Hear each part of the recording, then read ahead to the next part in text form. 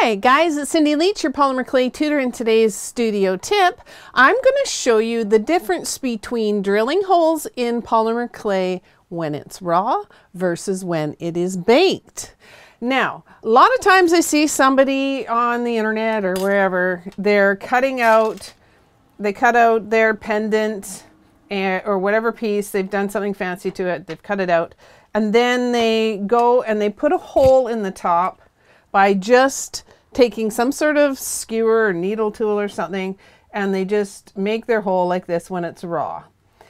And the problem with that, depending on the size that you do it, there's a few problems with doing it that way. First of all, I don't know if the camera will pick up on it too much, but you can get a fair amount of distortion um, right in the area where it bulges out. This clay has to move somewhere.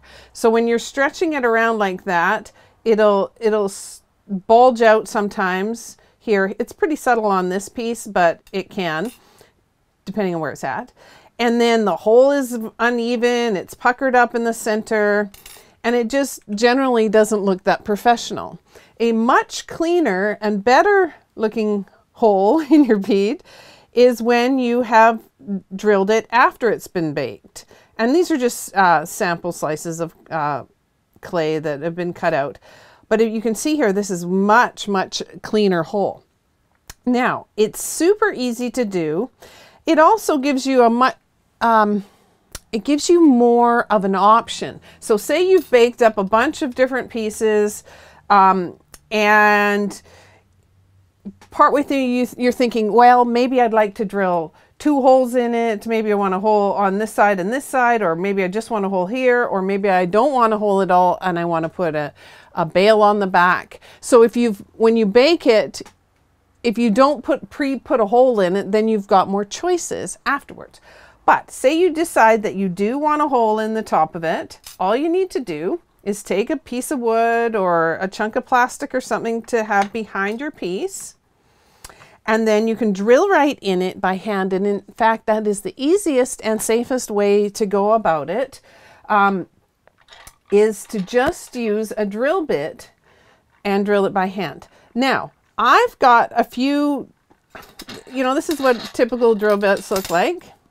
You buy them, you can buy them anywhere at the hardware store, or even at the dollar store if you're lucky to find them there. You don't need good quality drill bits. You just need ones that are good enough for wood because polymer clay is super soft.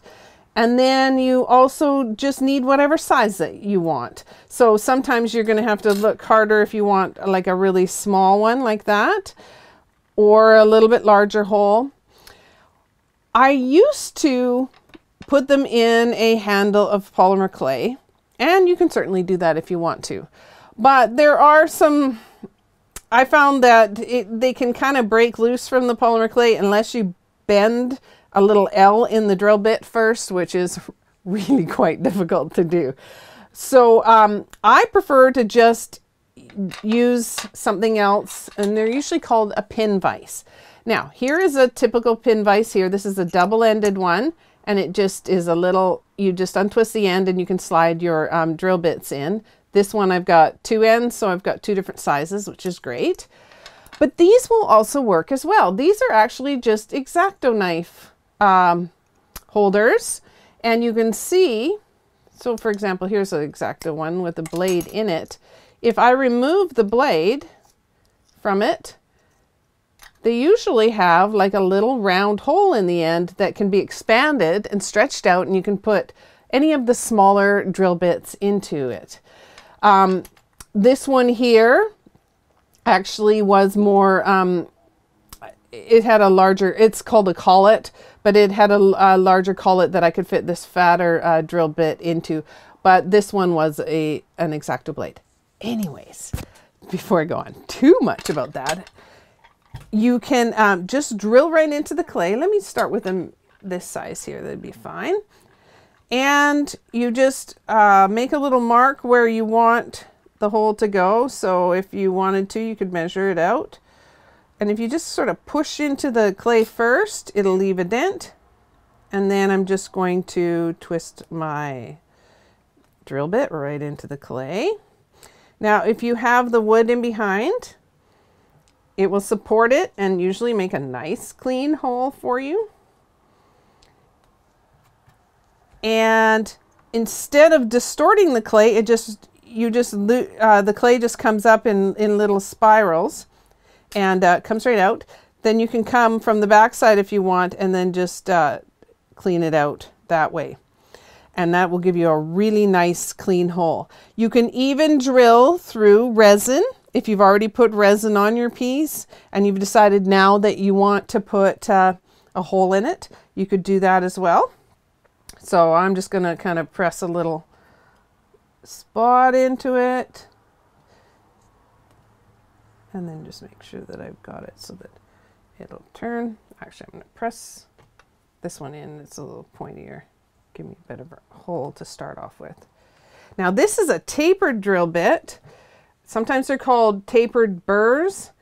This one is, um, you can find them sometimes with, um, Dremel carries them and they're a great little uh, tapered drill bit that you can use really pointy on one end and uh, they just get wider and wider. So I'm just going to show you that you can just drill right through the resin. It's a little bit harder. to push down a little bit harder, but you can still get right through it. And then when you get to the polymer clay side, it goes through quite easily. Now, if you had a, a hand drill, you could use that. There are some little um, hand drills that work on a uh, kind of a screw system where you push up and down. I forget what that's called. That works great too. Here, I'm just getting through the resin layer. There we go. Right through the clay, you can see the pinks coming up. And then I can come from the back side to clean that hole right up. And you can see that is a nice, clean, professional looking hole much better than those dorky puck puckered up uneven holes that you've squished in when the clay was raw.